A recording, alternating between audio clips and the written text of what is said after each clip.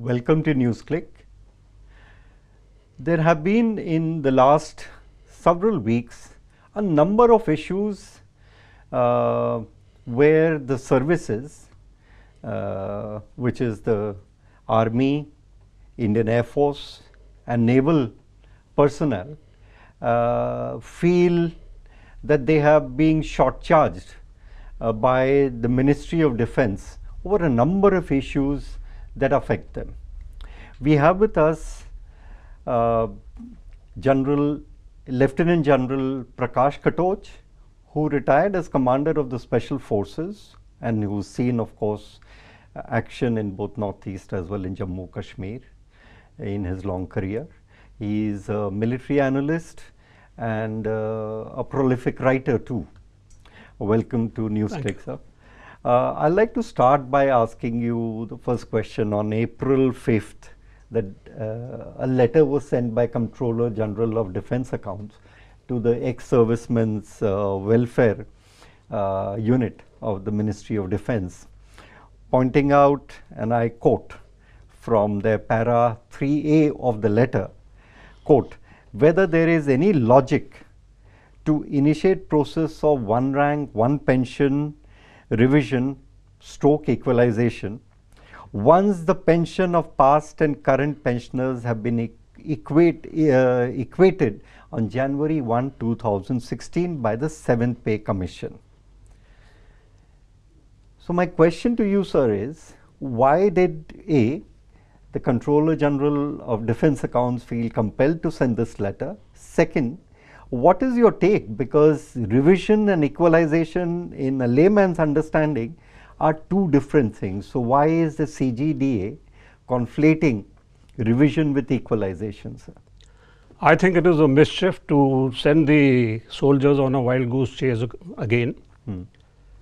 The uh, revision or the equalization was to be done on 1st July this year 2019. And Sanjeev Mittal, who is the CGDA, surely is not a retard because although the, the initiation of the revision was done on uh, 1st January 2016, the implementation was with, with effect 1st of July 2014. And in fact, the Gazette notification clearly says that the actualization will be done after 5 years, which falls on 1st of July. So, this is actually a mischief. Now, either has can the I, MOD asked them. Sir, is the revision and equalization one and the same thing? See, equalization is like the OROP that a soldier of the same service of the same rank, same length of service gets the same pension. This has been the long standing yeah. demand. Equalization actually for one rank, one pension means every year. But the government said, all right, we'll do it after five years. So call it revision, call it equalization. It was supposed to be done from 1st of July, which is today.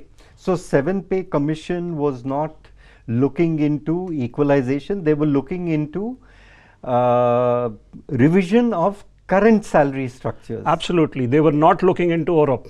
Okay. Now, what CGDA has done is that the initiation of the one rank one pension with effect 1st of uh, July 2014 was started on 1st January because they were waiting for the 7th pay commission. Hmm. But the equalization was to be done after 5 years which which is today. Okay, it's due now in yes. 2019. Yes. Okay. So, why do you think, I mean, obviously there is such a big difference between revision and equalization and it's not the two one and the same thing.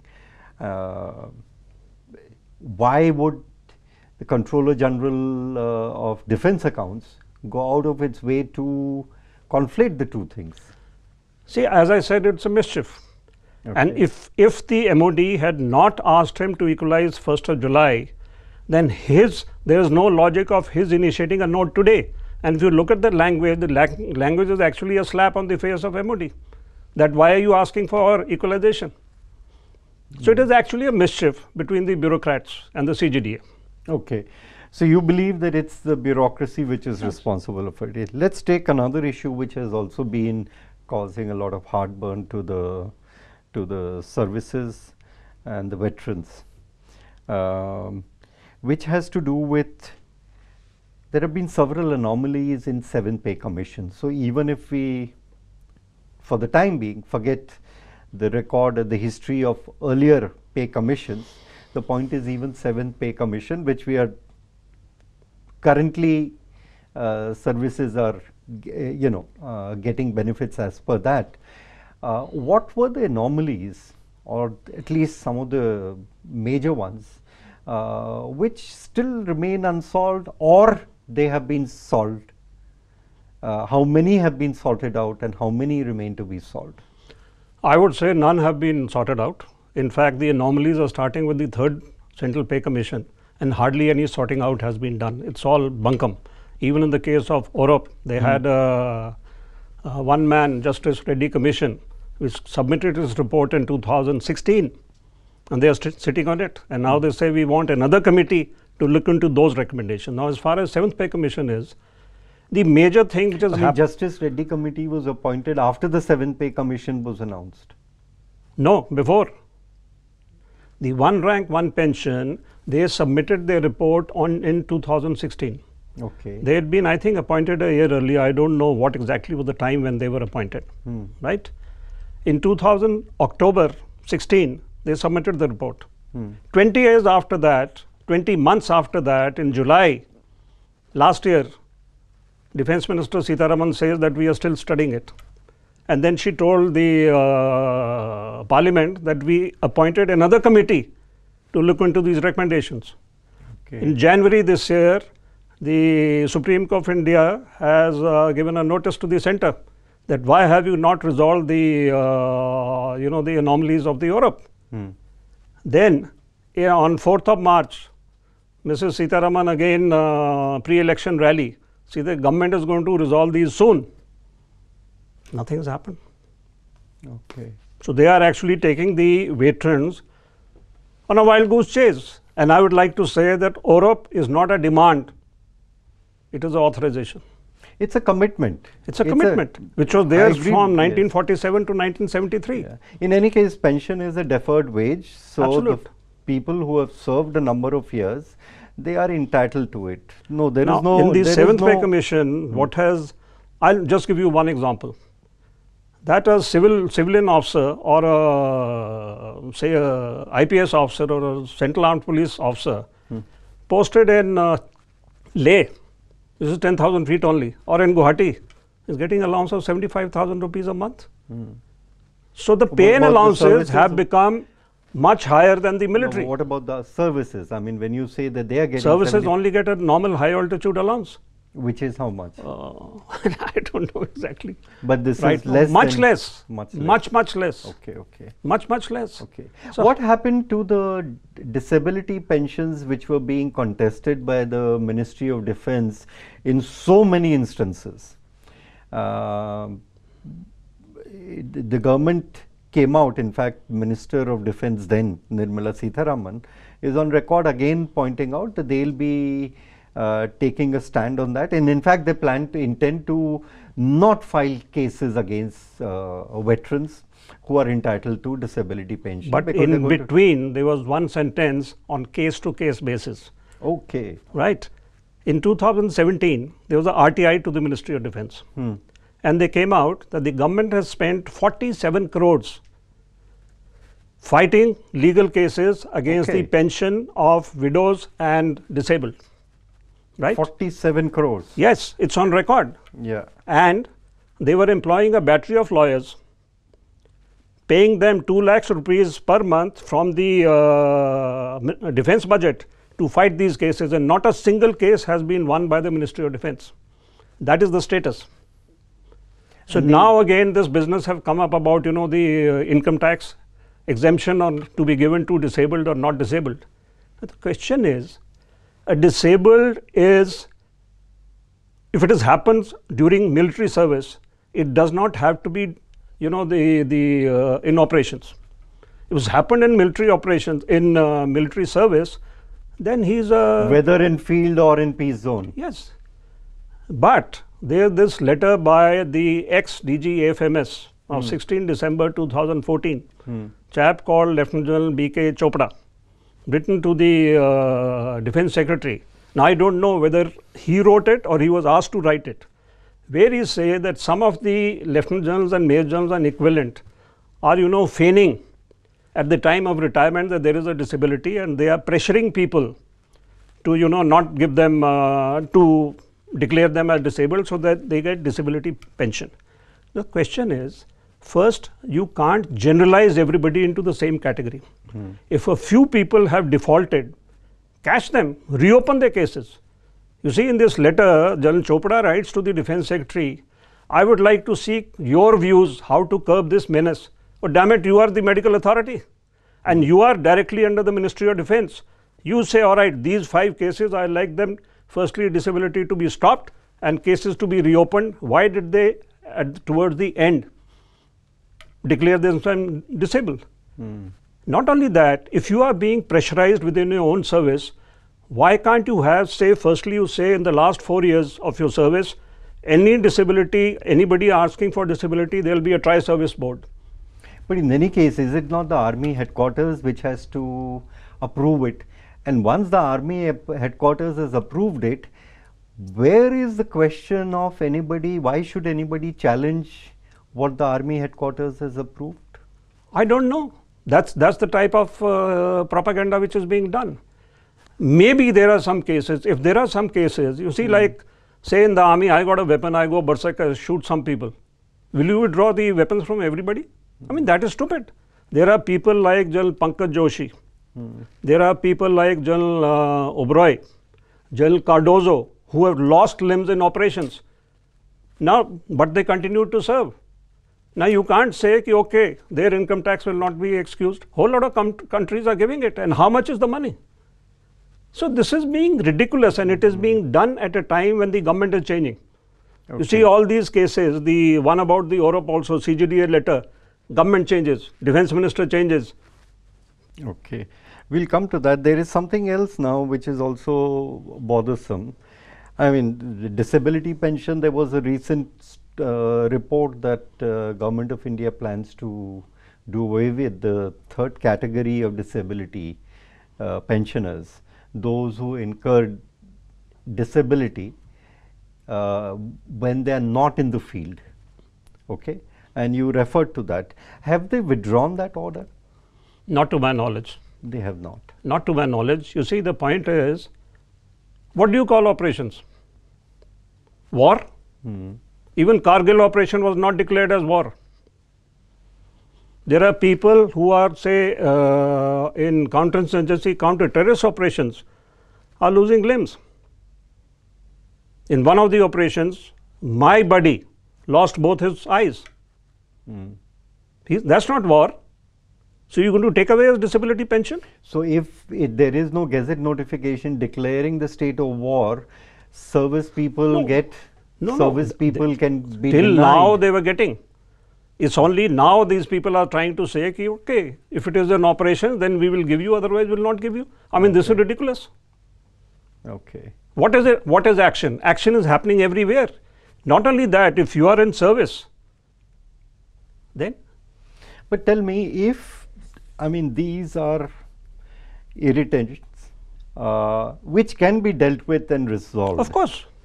Uh, yet if they remain and uh, they are even after a commitment is made, how do you read it? I mean, because at one on the one hand, government of India is now committed to, as they say, shedding a lot of flab in the armed forces, especially the Indian Army, and to attracting more uh, young blood into the force and make it more attractive for them to come for short commission, uh, uh, for short duration uh, service. Now, if these irritants remain, how do you make the force more attractive for people to join even for short that's exactly the point. And in fact, a previous chief like General Ved Malik said it's no more an attractive option at all for the youth. Hmm. Today the things are going, the way things are going, I would like to advise the youth, don't join the military, join the uh, Central Armed Police Forces. How do you react to this balloon that was floated recently about the move to uh, instructing the army headquarters to force the commanders of Uri, Nagrota and Sunjwan camp to resign because they failed to prevent the, the attack on their cantonments.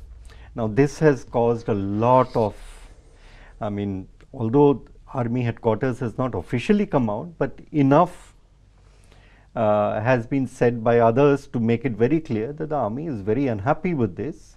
And their argument is that the argument is twofold. One is that if they have already taken an action against, I mean, how can you, I mean, the double jeopardy emerges that after taking all the steps that you was required for the army headquarters to take, now you are asking the same force to say, no, you dismiss them or virtually force them to resign.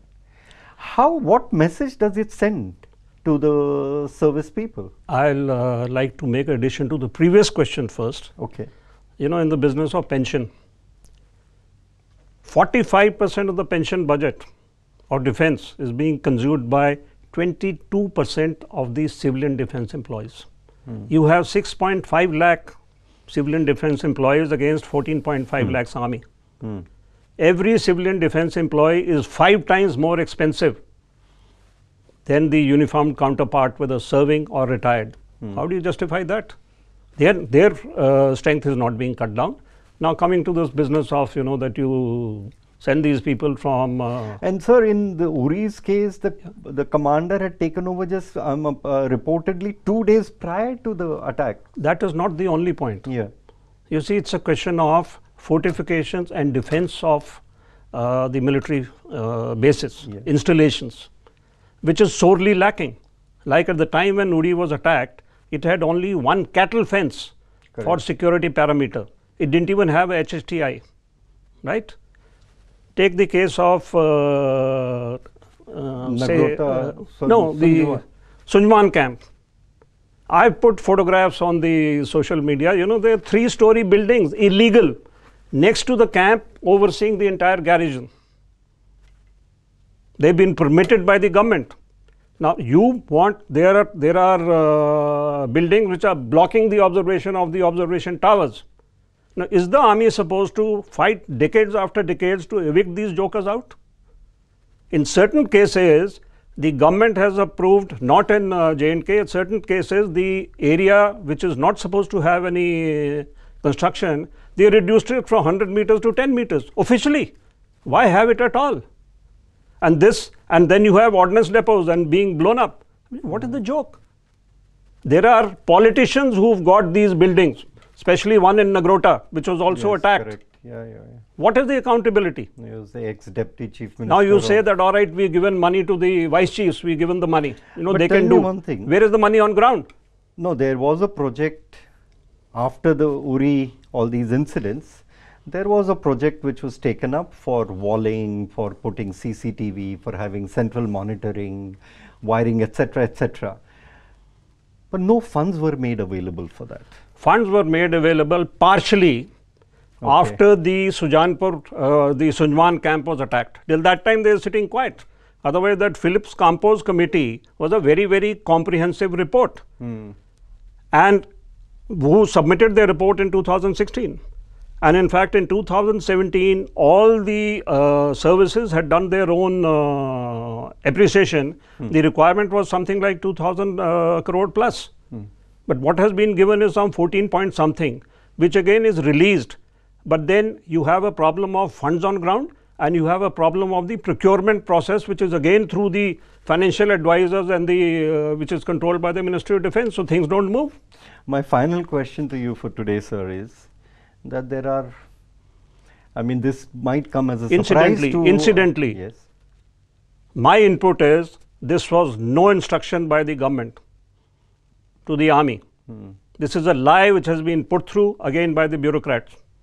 As far as I know, okay. there is not no communication from the MOD that please send these commanders home. We'll so who's in that. charge? Yeah, we'll come to that. Uh, my last question is that um,